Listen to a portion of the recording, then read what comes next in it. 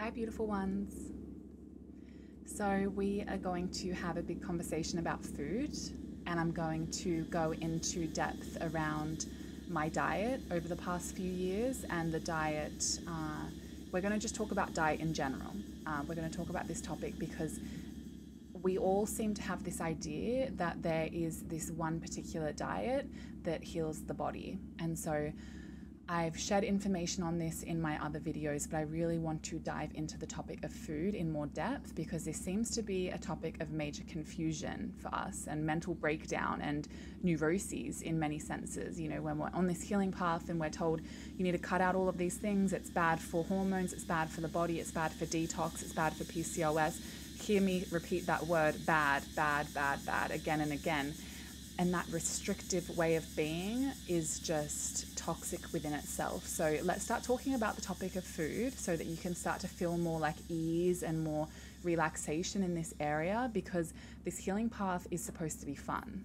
This healing path, if you were constantly feeling restricted and overwhelmed and just like awful and you're not enjoying it, then you're not doing it right and it's not sustainable. And I'm going to touch on why that's such a key part of the healing journey a little bit later in this video. So, to get started, I'm going to talk about the chapters of my life that have been unfolding in the recent years. I'm going to talk about the meals I was eating, and you're going to see some very, very clear transitions that have played out for me in relation to the three macronutrients and balancing and learning about these macronutrients being fat, protein, and carbohydrates. So I want you to just listen to the video and just see what you can learn and what insights and downloads drop in for your own experience. Because, of course, I make these videos so that you can speed up this process. For me, something may have taken a few years that could take you six months, 12 months max. So, obviously, I just want to provide that support and information. So, make sure you've got a pen and paper if that feels in resonance and just listen and, you know, rewatch the video if you need to and just take any important insights and then just see what you can implement into your own life. So, as you all know, or many of you know who are familiar with my videos, you'll know that my healing journey began in New York City, which is when I ultimately had a huge body breakdown in which my hair was falling out in huge handfuls. I had cystic acne covering my face from here to here.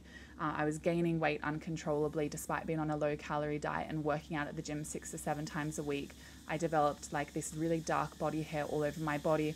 I was having a lot of digestive issues. I had fungus in my body. I was having thrush. I had cancerous cells show up in my uterus. And by this stage, I stopped seeing doctors. So I was never officially diagnosed, but I was displaying all the symptoms of endometriosis, which is essentially just the worst pain ever. And I've had a cyst erupt on my ovary, and I have to say, endometriosis is, even competes with that because it's just pain everywhere, all through your hips, your uterus, your back, and it's it's intense.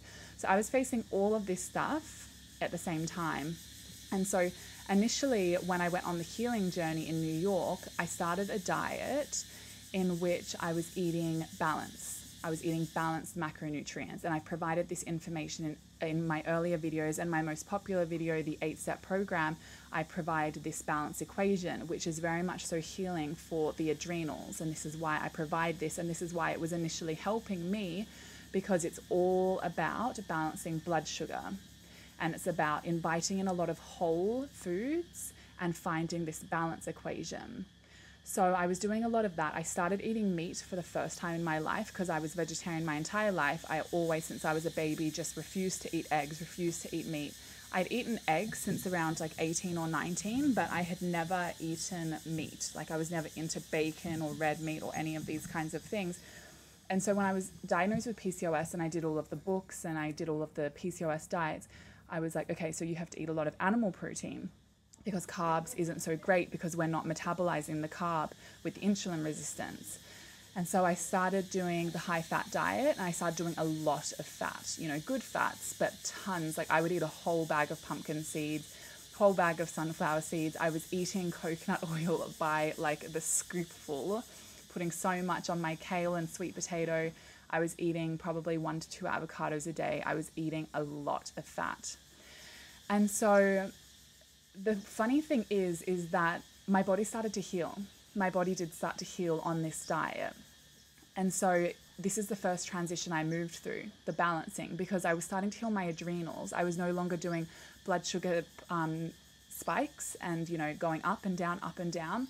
I was resting more. I started meditating and all of these things. And this diet seemed to be helping me, you know, getting the whole grains. I was having a lot of brown rice, a lot of quinoa. And so that was getting my bowels moving as well, you know. So there was a lot of fiber coming into my body. And so this balanced way of eating, which was just tons of sweet potato, tons of fats, I was eating quite a bit of salmon, a bit of fish. Um, I wasn't really eating any other protein aside from like salmon and different fish uh, tons of eggs, was eating so many eggs, sometimes morning and night. If I couldn't be bothered to eat, like cook something for dinner, I would just make some eggs and kale and sweet potato. So, this is the diet that I started out on, and my body started to get better. So, then the first time fruit came into my realm, I mentioned this in one of my previous videos, is when I went to Florida and my boyfriend's doctor told me, you know, I was I went on a candida diet and I cut out all carbohydrates and I told her I like I feel really sick, I feel really awful, and she told me I need to start eating fruit. And so this was the first time I felt challenged by the idea of fruit because I had read in so many books that, you know, fruit is too high in sugar. I was just a huge skeptic. I was like, no, fruit's going to make my blood sugar unstable, you know, and I could actually sit down and have a bowl of fruit and I didn't feel well. I felt really shaky. I just felt unsatisfied. If I had tried to go to work on a bowl of fruit, I would have felt like crap. I would have been crying. I would have had that huge dip. Um, because my adrenals were burnt out. My adrenals were really, really weak at that stage of the game. So then I leave New York, and the next place I lived was Bali, in which I tried to take this way of eating to Bali. So the balance, the lots of grains, lots of, you know, the equal balance of protein, some fats, lots of vegetables. Still wasn't really into the fruit thing because even though that had helped me and I was eating a bit of fruit, I was still skeptical. And I was just like, yeah. And so then I went to Bali, and then my body really starts to heal because I left, I quit my job and was just focused on healing and so this is when like my period came back acne was radically starting to improve. This is at the point in which hair shedding stopped right towards the end of bali is when i like had my last big shedding cycle. And so things were improving in bali. Although i was eating lots of soy i was eating completely vegan in bali. By this stage i'd worked out that actually animal protein was prohibiting me from receiving my period and then I started to find a little bit more re- information, and it's hard to find because so many people out there are spreading the high protein diet myth. And it's hard to find but i started to find more research studies that shows that high protein diet makes uh, women um, prevents women from ovulating and it increases estrogen dominance. And i started to find all of these little things and i was like oh this makes sense. So in bali i was just completely vegan and that's when everything starts to shift so, was it the lack of stress or was it the vegan diet? We can't really know, but I'm assuming it was both of them. So then in Bali, I'm eating tons of tempeh. I'm eating vegan desserts every day. I'm still really suffering with an eating disorder, which I'm going to do a whole nother video on, but I'm going to be touching on the eating disorder and the addiction to overeating a little bit in this video because it's very, very relevant to this story. So I'm still suffering with a eating disorder in which I'm just constantly craving sweet foods. I'm constantly craving more and more food. I would go home at nighttime, even after a beautiful event out with my friends, and I would just be thinking about food. And so I still hadn't healed that that component, you know? And so um, Bali was amazing. It was very, very healing, but you know, there was still a lot going on. So my PCOS symptoms had really died down and I had a regular period, but there were still other things going on, more so in an inward feeling. Like I was still having back pain, still having body pain, still had low energy, still had blood sugar dips. Um, you know, there were just things here and there. You know, the acne scars weren't completely disappeared. I was still just feeling inflamed. I was still feeling inflamed. I was still feeling um, unstable emotionally there were still things going on that I wasn't completely aware of. I was kind of like, I'm healed. But the truth is, I wasn't really feeling 100%. I wasn't feeling completely well in my body. So then from Bali, the next chapter, went back to Australia for six weeks, got prepared to move to India, in which I lived there for six months. So in, in India, is the next time fruit came into my realm, I guess you could say, is because I started to develop uh, acne, like acne all over my back. My face was pretty much clear, aside from like I would get like some big cystic ones just on my cheeks, which is the liver. Um, but then it was like my back had a lot of acne. And so I started to go to this Ayurvedic doctor in Rishikesh. And he just looked at me and he's like, Your pitta's really out there, blah, blah, blah. And he's like, You need to go on Triphala. Triphala is when I, this is when I started taking Triphala because my colon was really toxic. And he's like, You need to start eating fruit you really, really need to start eating fruit. And then again, I was like thinking about the doctor in Florida. I'm just like, why do people keep telling me to eat fruit? So I ate a little bit of fruit here and there. I would, you know, make, I would get huge pomegranates. I would put it on my oatmeal. Still eating tons of grains. Still had a cr- crazy eating disorder, which really flared up in India because there was just a lot going on emotionally for me in India. And I was facing periods of intense loneliness and I was just going through intense emotional purges sitting by the Ganga River every day, just crazy stuff going on. And so I was definitely still dependent on food as a source of nourishment and fulfillment and pleasure and joy. And the eating disorder really flared up around the time I started dating my yoga teacher, total mess, and started running yoga retreats with him on his at his ashram.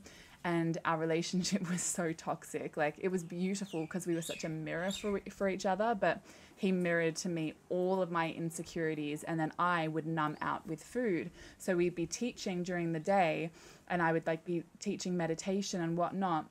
But then I would go back to my room at night and just eat because I was just so unstable. And it was just this way I would feel grounded within my being and I couldn't control it. I literally couldn't control it. It was just like, I was just eating to the point of feeling so sick.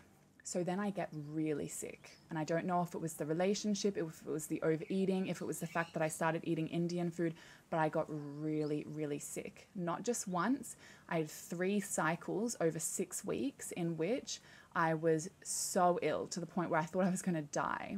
It would go away, and then I was like, okay, I can stay, I can stay. And then it would come back. And so the whole period, I was just so sick. And so I was like, okay, that's it. I have to leave India. I feel like I was kicked out of India. I wanted to stay. It felt like my soul wanted to stay, but it just felt like the higher intelligence, you know, ruling this earth was like, nah, you need to go heal your body. You need to leave this relationship. You need to get out of here. So then I left India and came to Thailand for a little while and healed my body back again. And, you know, I wasn't displaying any of the symptoms of PCOS, but there were still things showing up. And so then this is where this whole, you know, thing starts to transform. By this stage, I'm still just eating grains, I'm still eating fats. Um, I've been vegan since Bali. Uh, not really eating dairy, but India got pretty bad. I started to eat quite a bit of dairy. I was eating a lot of yogurt, drinking a lot of chai tea every day. so my diet's still all over the place. You know, like my diet is still all over the place. And then I go to Costa Rica, which is when things start to transform because I live in a spiritual detox community for three months in which all of the produce on the grounds is organic. Like you can't get anything that's not organic. It's all fresh fruit and vegetables. That's literally all you're eating, plus some rice and beans and whatnot. And then I meet a gorgeous friend of mine there who is the biggest mirror for me because she's having all of the same symptoms that I'm still showing on my body. We connect over the fact that we still have chronic scalp psoriasis. And by this stage, after India, my scalp psoriasis was the main symptom I was showing, but it was so bad.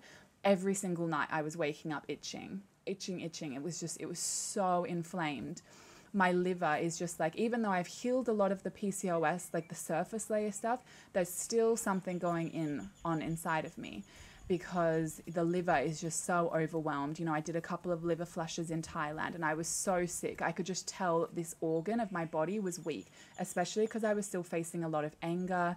As I've mentioned before in my other videos, every time I got a massage, a lot of anger would come up towards the masculine mostly, but I was still develop like I still had that like rage living inside of me that wanted to come out every now and then. It's like, is it safe to come out? And I was like, no, like I'm not an angry person. Like I'm a health coach everything's okay, I'm healed. So I was massively in denial. And then Costa Rica was an awakening for me because my friend had really crazy scalp psoriasis that she was healing. She told me about medical medium and she was like, Yeah, so he's all for fruit and like raw and lots of vegetables and all of these things.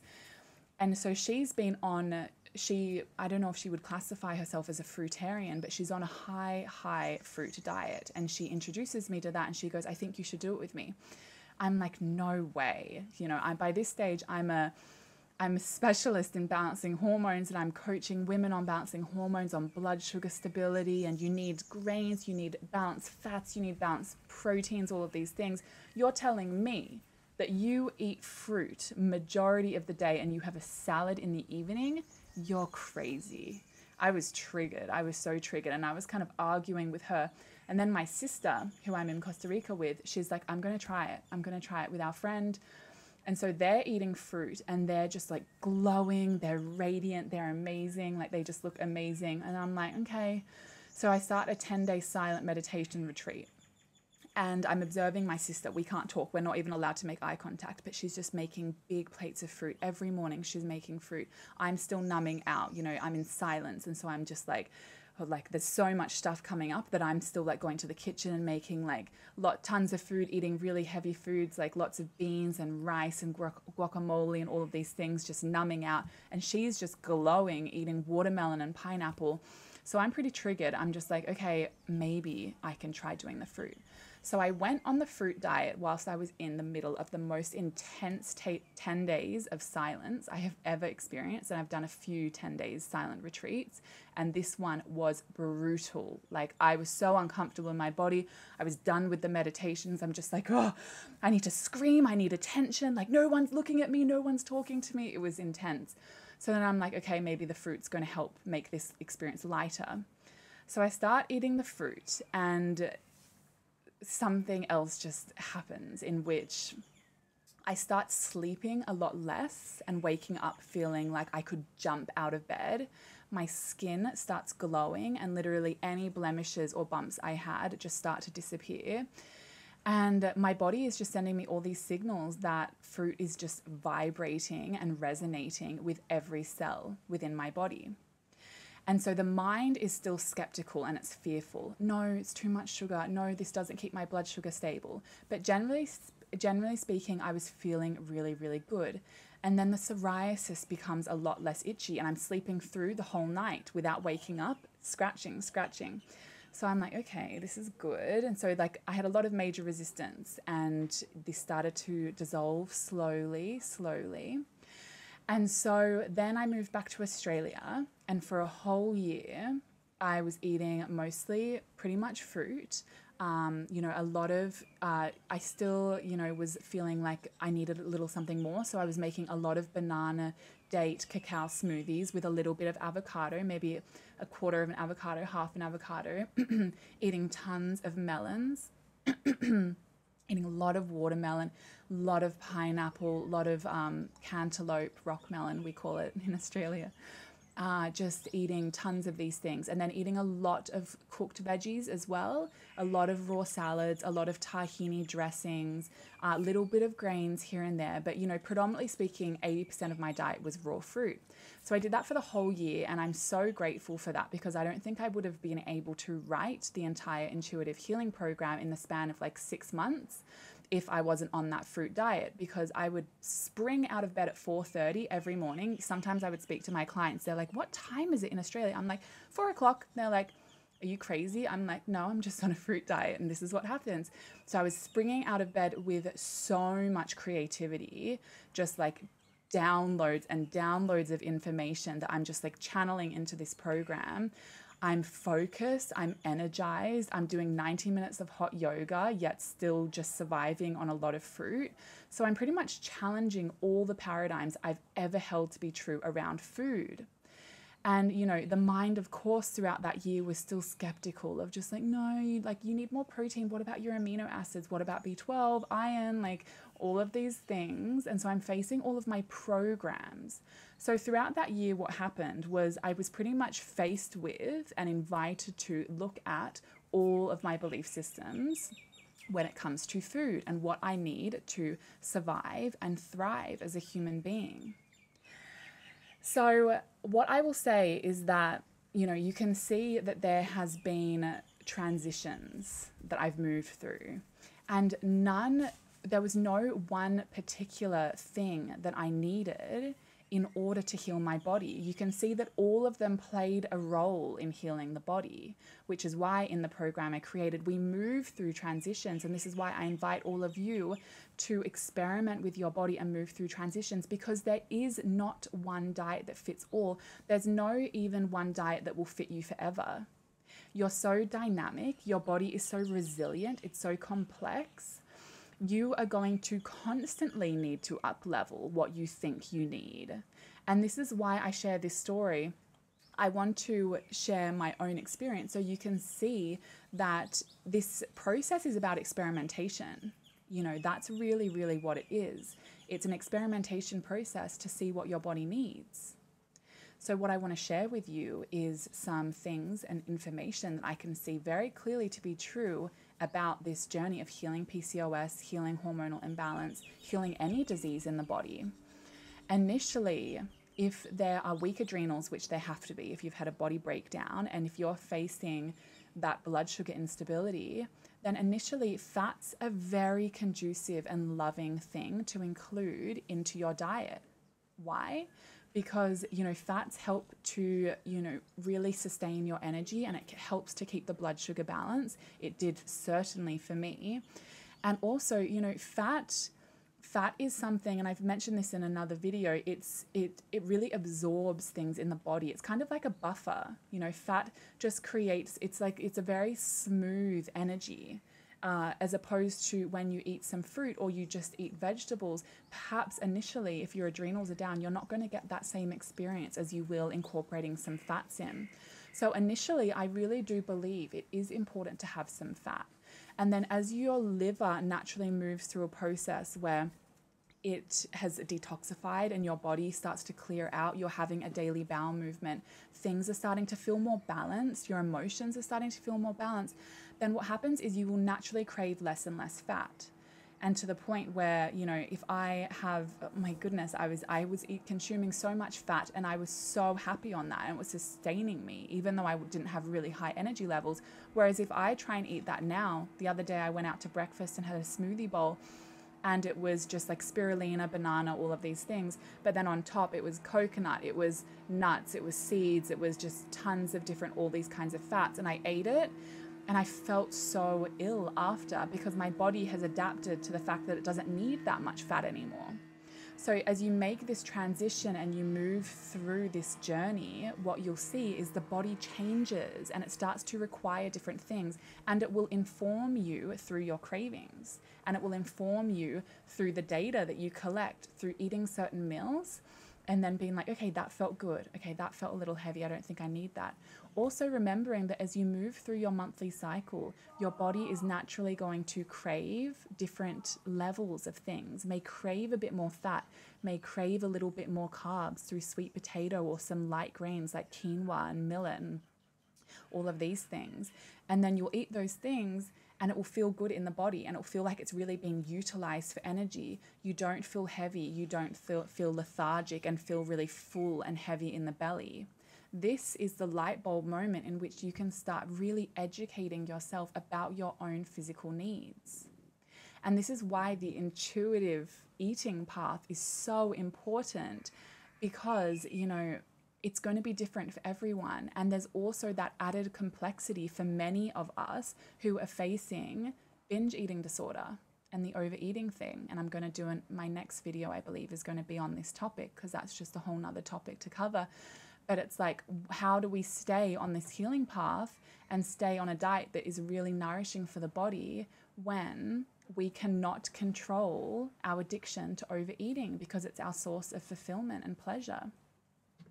So, aside from the fat, what I've learned is that I really want you to all start challenging your belief systems about protein. Like, protein is just, we have been fed so much misinformation about protein. We need proteins, we need it for the amino acids. You know, first of all, most of the amino acids that we need actually created in the body. And then any of the additional amino acids that we need to survive can be found in plants. And so, you know, many of you have grown up eating animal protein, and animal protein is a stimulant in the body, so is dairy. And so there's going to naturally be an addiction, not only towards the mental program of needing this, of needing eggs, of needing like um, of needing animal protein and fish, and you know, it could even be for like needing lots of nuts and whatnot. There could be an addiction there for you, not only because of the mental program you're running, but because of your physical biochemistry of your, you can feel your body feels that stimulus when you have the protein. And so, I really, really want you to start challenging all of these ideas you have around protein because, you know, I I haven't been incorporating protein as like a macronutrient into my diet for over a year now. You know, I'm never thinking, and I used to do this. I used to do this initially, and maybe this was exactly where I needed to be. Maybe it was necessary. I used to look at my plate and be like, well, where's the protein? I need the protein that needs to make up 25% of the plate. Although now it's like I, I don't ever have that thought. I never have that thought of like, but there's not protein in this salad, or because I know what you receive in plants and I can feel in my body. I'm starting to feel healthier than I have my entire 27 years on this planet. Really, I'm starting to feel very, very healthy. And it's not because I'm incorporating protein and I'm balancing fats and all these things, it's because I'm listening to my body which takes me to the most important part of this video. And I let's see how long the video is. I hope that you're still 26 minutes. My goodness, they're just getting out of control nowadays. This is the most important part of the video, which is you can I've shared these transitions so that you can see that there is no one complete way. But the most important thing I can ever ever tell any of you is that the healing equation this is not going to be spot on, but this feels pretty accurate and it really resonates my own intuitive knowing. The healing journey is probably around 30% food and 70% emotions. And it could even be more like 20% food, 80% emotions. I kid you not. And this is why this is why it makes sense for many of you who are on a healthy diet, but you're not feeling so good emotionally, or there's some things going on in your life that you're not seeing radical results. And this is why when I left New York and I went to Bali, even though I was eating soy and even though I was eating tons of vegan desserts, even though I still had the eat, um, the eating disorder and was eating tons and overeating, and I was doing a lot of wrong things for my body, but my body was radically improving. Why? Because I was happy. I was so happy. I was surrounded by people who love me. I was doing ecstatic dance. I was in nature, you know, Mama Bali is so nourishing. Like there was just so much that was offering me on an emotional level, which has helped me to see our emotions inform the hormones in our body. And they inform the way our adrenals function. They inf- inform, you know, um, our emotions inform the way our endocrine system operates. And so, what I'm saying here is that your emotions that are moving throughout your system are offering information to the hormonal ratios that are secreting and playing out within your body. And this might be a mismatch for your healthy diet. You know, you could be eating and detoxing and eating all the right things and doing really well. But if your hormones are telling your if your sorry, if your emotions are telling your hormones something different, then it's not a match and that healing doesn't start to take place in a really, really radical way. So remember that it's not so much about what you were eating, it is about how you were feeling about what you were eating. And this is why it's really important for us to not make foods bad or wrong or create too much dogma in the area of like no like that's wrong and that's wrong you know that's it's good to inform yourself and to know what foods and these molecules and these macronutrients what they're actually doing to your body yeah that's great but to a certain extent, we have to surpass that level of education and wisdom. We have to start seeing that it goes beyond just the physical alone and that we are actually energetic beings. And so, therefore, how we are feeling energetically, emotionally, you know, how and our emotions are informed by our thoughts. So, how we are thinking and how we, all of these thoughts that are playing out in our mind every single day, we have to start thinking about this stuff as the core principle that truly heals the body. Otherwise, we don't get anywhere. Otherwise, you may get somewhere, but you really can't surpass that next level. And that's what we all want, right? We all want to keep surpassing that next level and pushing through that next threshold. It was fantastic for me to move to Bali and see all of these changes and get my period back and make that video, how to bring back your period. And you can see how shiny I am and how excited I am. But I was still suffering. There were still things going on in my body. And so the idea is that we go to the next level and we feel a little better. We're like, oh, this is great. But it's like, it's an up leveling. You know, the healing journey, it doesn't end. It's not just like, okay, now, you know, at some point you may at some point you very well may and i know i will get to a point where you're like i'm done with healing i'm just going to find balance and i'm just going to listen to my body and i'm good you know i don't display any symptoms i feel really good in my being that's the ultimate uh, objective but simultaneously, remember that it's always just like this dance with life and dance with your body and your intuition and knowing what feels good for you day to day, month to month, year to year, knowing that it's always changing. You're never going to have to stick to one thing. You're dynamic. So it's just about finding what works for you, knowing that there isn't just one one size fits all and this video was to show you see how many transitions I went through. They were all healing for me they all helped my body. And, you know, also just working with the emotional side of things, knowing that the eating disorder, the overeating, and, you know, the eating all of your foods you use as a crutch, or the coffee, or the alcohol, the stimulants, the meat, we can't really address and bring all of those things back into balance without addressing the emotional world. So I'm going to leave that video there for now. I've got um, more topics coming up soon enough. I'll be discussing more about addiction to overeating and eating disorders. Um, and so if you have any questions or there are things that you want me to talk on that I haven't covered, make sure you reach out to me. You can follow me on Instagram, reach out to me there, or just leave a comment. And so I can start creating information that's really going to support you along this journey of coming back into balance within your own being. I love you. Bye.